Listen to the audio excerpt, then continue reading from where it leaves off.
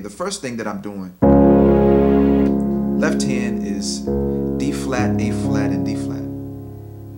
The right hand I'm using F, A flat, and D flat. Also, you can double up in your chords and we can do D flat, F, and A flat. Alright.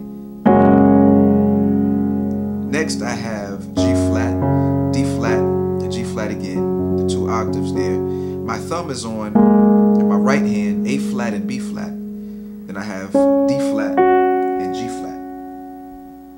Okay? All right, you'll notice I'm doing a few things. Um, first of all, we have this movement. Um, I'm using D flat and B flat, E flat and F, um, excuse me, C. Sorry about that. So we have this, this, and then F and D flat. And it's just a way to, to, to get, okay? The left hand, I'm using B flat, F, and B flat. Now, if you don't want to do that movement, then you can just go to, all right, A flat, D flat, and F on the top.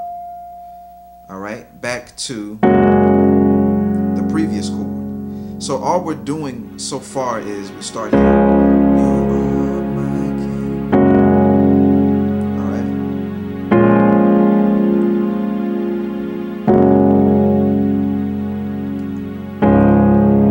Right. Repeat that.